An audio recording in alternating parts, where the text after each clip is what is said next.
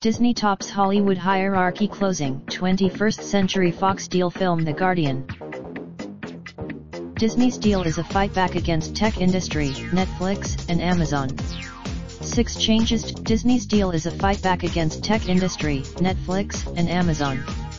6 changes Disney closed its of Rupert Murdoch's 21st Century Fox film and entertainment assets this week, bringing The Simpsons, Star Wars, and The Avengers under one roof. The deal combines, it confirms Disney's position at the top of the Hollywood hierarchy but also represents a fight back against the technology industry and the upheaval caused by its forays into the entertainment business through an Amazon in particular.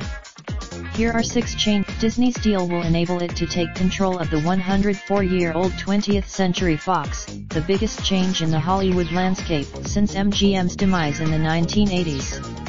Disney has a remark. Disney took a market-leading 26% share of the $1.12 billion US box office last year. Overnight, this when Disney's deal to buy Fox was first announced Marvel fans rejoiced at the prospect of most of the Marvel universe being brought back together for the first time in almost three decades.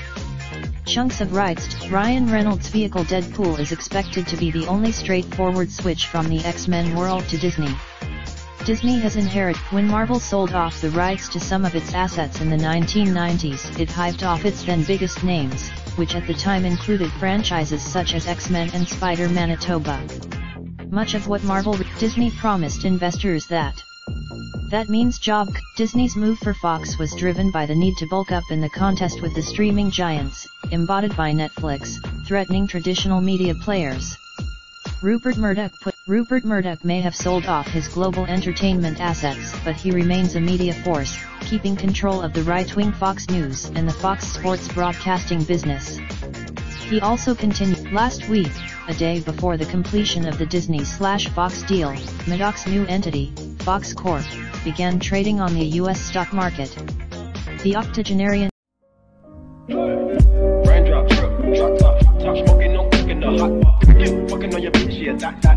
Looking up, open the park.